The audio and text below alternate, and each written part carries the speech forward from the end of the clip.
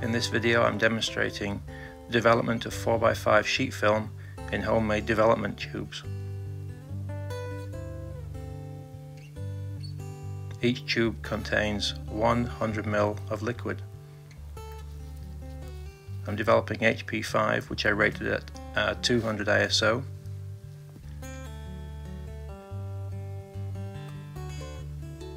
I'm making a 4 to 1 mix, that's 20 mils of DDX with 80 mils of water.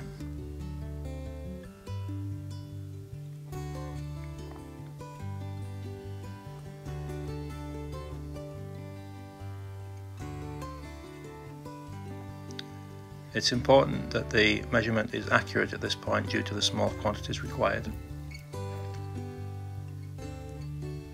Ordinarily, I'd use a 100cc measuring cylinder, but I couldn't find it at this point, so I had to use the syringe.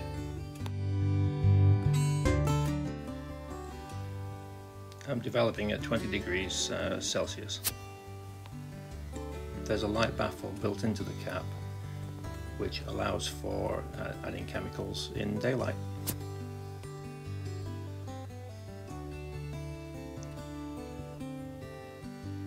I'm setting the development time for 8 minutes. This has been adjusted for the continuous agitation.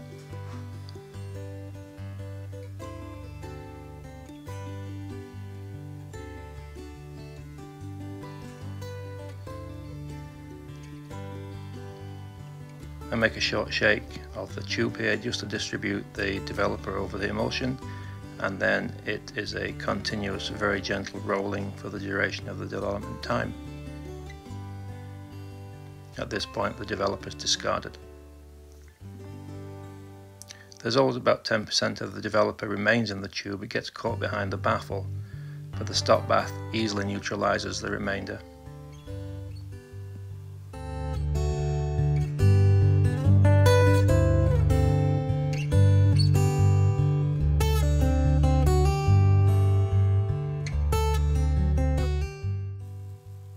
Typically I just use 30 seconds for the stop bath. I just calculate this uh, in my head, I don't use the timer for this.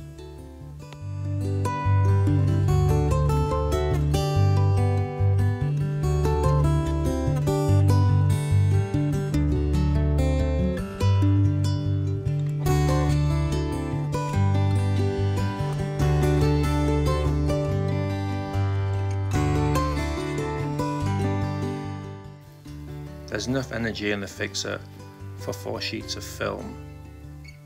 I just pour the liquid out of the tube back into the container and I find this is enough just to uh, replenish the fixer. I add about one minute of fixing time per each sheet that I fix. This prevents uh, any purple spots on the film.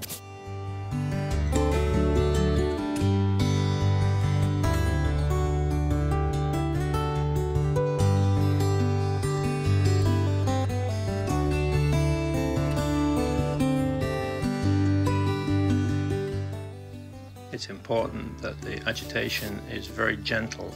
It's just a gentle rolling action back and forth.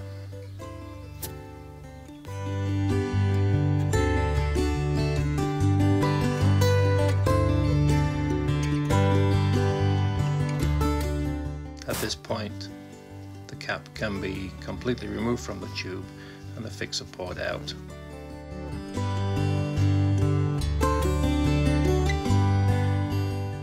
Just give the film a quick rinse with water.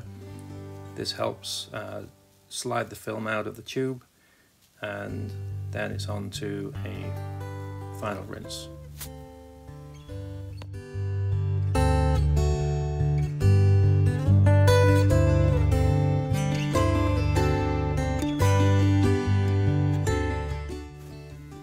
And after a quick dip in some rinse aid, I just hang it out on the clothesline. If you have any questions about this developing technique, uh, please feel free to ask any questions in the comments below. Thank you for watching and I look forward to seeing you in the next episode.